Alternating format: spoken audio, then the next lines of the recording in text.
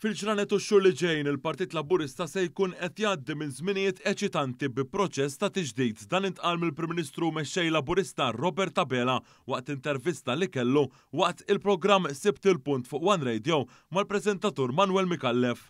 Fejn se nimxu lejn proċess ta' tiġdid, ta' tiġdid li se jkun qiegħed jibda mill-mili tal-karigi, li issa huma vakanti kemm fl-amministrazzjoni kif ukoll l-ogħla karigi tal-partit, persuni ġodda li mbagħad iridu jibqgħu jimbuttaw il-viżjoni reviżjonata li għandna wkoll li toħroġ anke mill-messaġġ li bagħat il-poplu fit-8 ta' Ġunju, messaġġ li tajna attenzjoni kbira lejh ukoll, jiġifieri għandna x-xorti li nitilqu minn pajjiż kif għedt b'ekonomija b'saħħitha, b'suq tax-xogħol b'saħħtu, imma li nemmen li rridu nġibu bidliet ukoll. Il-Mexxej Laburista semma kif bħalissa għaddej numru ta' assemblej flimkien ma' numru ta' persuni, inkluż l-attivisti tal-istess partit, li qed jiddiskutu bosta temi kurrenti, fost oħrajn biex il-Partit Laburista jibqa' l-akbar forza politika f'pajjiżna. F'dawn il-laqgħat qed ilaqqu lil bosta persuni flimkien biex anke il-Partit Laburista jaħdem aktar favur il-ġid tal-poplu Malti u Għawdxi. Intqal li dan għandu ikun irreplikat fit-tmexxija tal-pajjiż fejn għandhom isiru laqgħat mal-istakeholders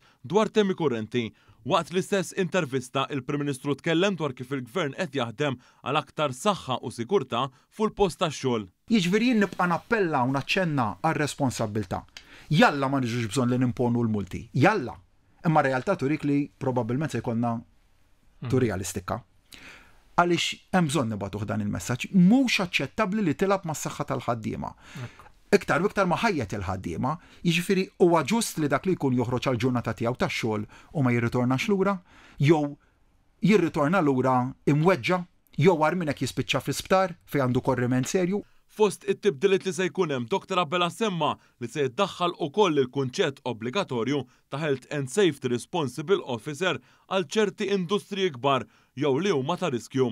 F'din l-intervista, il-Prim Ministru Robert Abela tkellem ukoll dwar il-proġett ambjentali importanti tax-Xortu Ship fejn fil-jiem li ġejjin l-ewwel cruise liner se jidħlu fil-Port il-Kbir u se jitfu l-magni.